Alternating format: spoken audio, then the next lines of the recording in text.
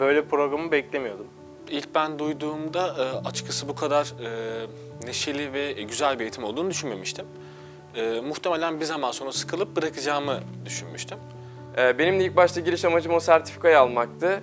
Daha sonra ortalarına geldiğimizde sertifika almak için değil de bir şeyler öğrenmeye geliyormuşum gibi hissetmeye başladım. Yani Proje öncelikle bize çok fazla şey kattı. Günlük hayatımda da bunu e, proje zaman içerisinde gördüm. Benim en çok e, hoşuma giden hocalarımızın bize bir problem verip o problemle ilgili düşüncelerimizi söylememiz ve o düşünceleri hakkında tartışmalar yapmamız.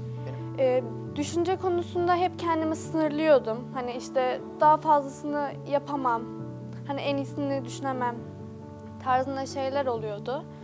Ee, bu düşünce eğitiminde e, kendimi daha geliştirdiğimi gördüm.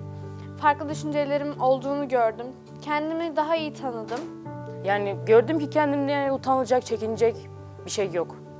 Yani direkt söyleyebilirim, kendimi ifade edebilirim. Düşünce tarzım bayağı değişti. Ee, olaylara bakış açım e, her zamankinden çok farklı olmaya başladı. Bir tencereye baktığınızda e, onun kapağını görürsünüz. Ben arkasından, yanından, sağından, solundan bakmaya başladım. Yaptığım bir tasarımı daha çok düşünmeye başladım. Mesela üstüne daha çok ne katabilirim? Nasıl daha kolay üretebiliriz? İşte nasıl daha kolay pazarlayabiliriz? Nasıl daha kolay e, bunu nasıl diyeyim e, aşağıdaki imalatı toparlayabiliriz veya montaj yapabiliriz gibi düşünceleri daha çok e, aklıma taktı. Meslek alanımda çizim e, konusunda etki e, etki sağladı bana. Çünkü zaten çizim yapabiliyordum.